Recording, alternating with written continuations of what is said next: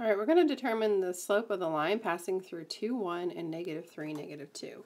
So using the slope formula, and uh, I'm going to use the second point, um, you know, as my x2, so or um, my y2 rather, so it's negative 2 minus 1, so it's a change in the y's.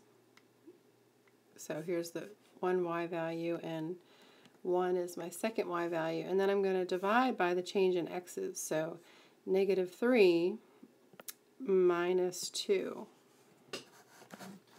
So negative 2 minus 1 is negative 3, and negative 3 minus 2 is negative 5.